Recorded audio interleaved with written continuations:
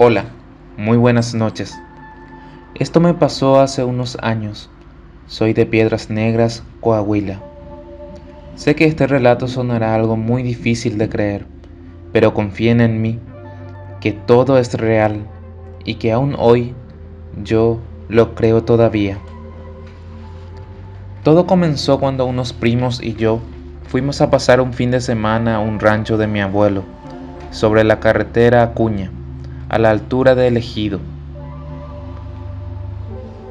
Llegamos un viernes a las 6 de la tarde y la idea era quedarnos hasta el domingo a las 8 de la noche. De inmediato cuando llegamos, lo primero que hicimos fue armar las casas de campaña. Aunque en el rancho teníamos todas las comodidades, la idea era dormir afuera como lo hacíamos de niños, mis siete primos y yo. Después de armar las casas de campaña y de poner algunas cervezas en el hielo, unos primos se pusieron a preparar la carne para asar y otro primo y yo fuimos a buscar leña a la parte trasera de la casa. Tengo que decir que el terreno es muy grande y por la parte de enfrente cuenta con unas porterías para jugar fútbol, columpios y resbaladillas y un brincolín por la parte de atrás de la casa. Mi abuelo solo tiene algunas camionetas viejas que de a poco a poco ha ido arreglando. También, por esa parte de atrás, hay una brecha que te lleva directamente al río.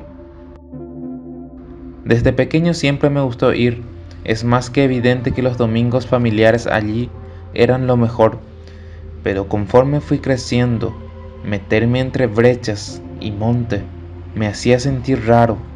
Me sentía raro estando solo lejos de todo y de todos, con tanto silencio que me abrumaba y me incomodaba.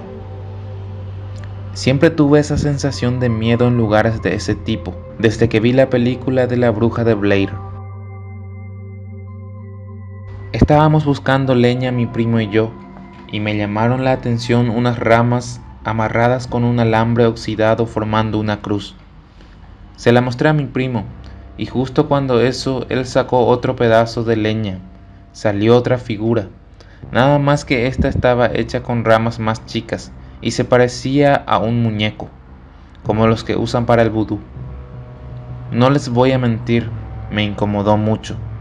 Traté de no darle importancia. Le dije a mi primo que de seguro mi abuelo los había hecho para pasar el tiempo, y solo los tiró ahí.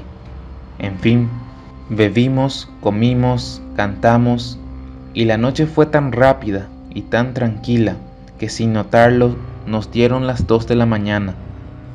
El frío ya era mucho, y tres de las ocho personas que estábamos no lo soportaron y se metieron a dormir dentro de la casa del abuelo.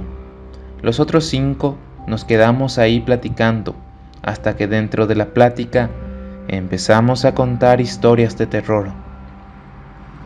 Recuerdo que le dije que no nos podíamos imaginar que tantas cosas pasaban en esos lugares de la noche, lejos de todo y de todos, todo lo que pasaba y nadie se daba cuenta.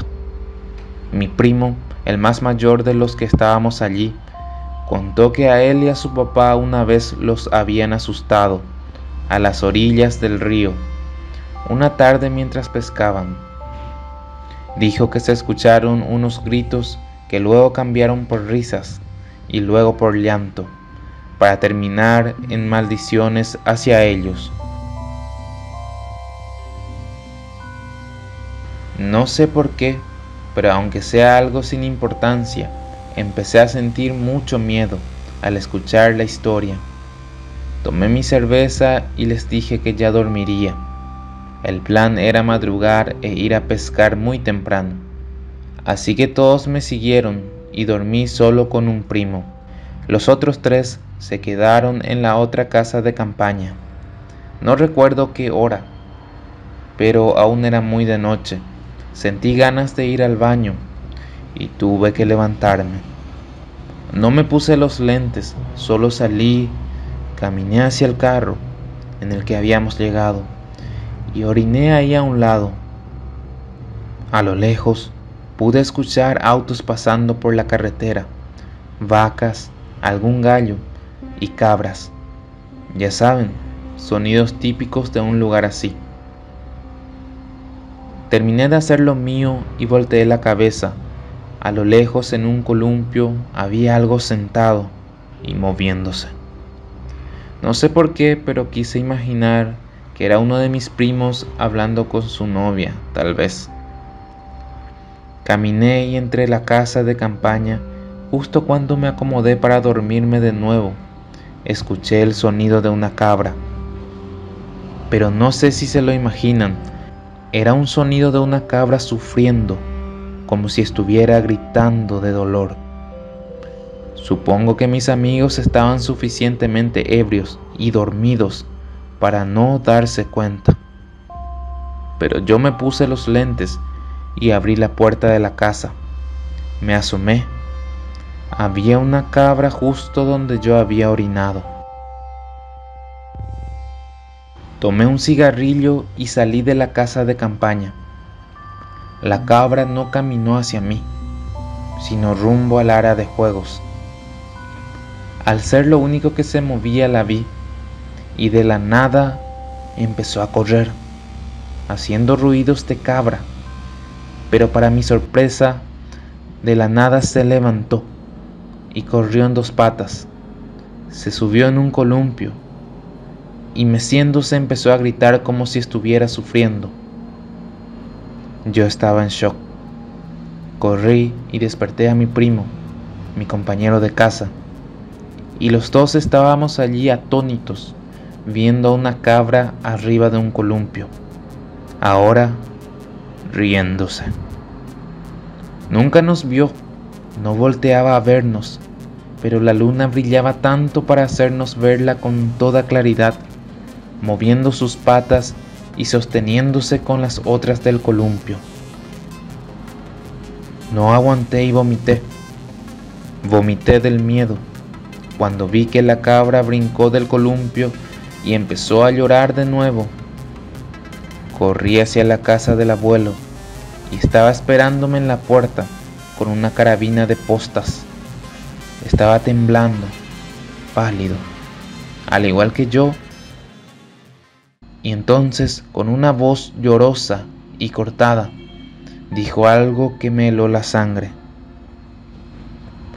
La había escuchado hablar pero nunca la había visto caminar en dos patas, ni hacer lo que hizo. Salí corriendo de la casa y fui a levantar a mis primos con la mentira de que el abuelo se sentía mal, pero era solo por estar todos dentro. Ya desde ahí solo se podía escuchar el rechinar del columpio y a la cabra hacer sus sonidos normales. Mis demás primos durmieron pero yo y el otro primo que vio eso ya no podíamos. Salimos a la sala y ahí estaba el abuelo tomando café, llorando.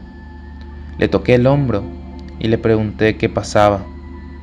Él dijo que nada, solo era miedo por verla caminar así y correr como si fuera una persona. Le dije que no pasaría nada, que ahí estábamos todos bien y me interrumpió diciendo,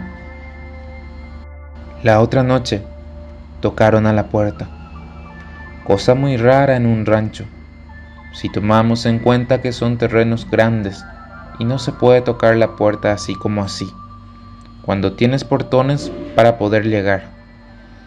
Y siempre están cerrados. Tocaron la puerta y gritaron, Pancho, ábreme, hace frío. Me quedé congelado. Era una risa burlona y era la voz de tu abuela. Mi abuela había fallecido en el 2011, muchos años antes.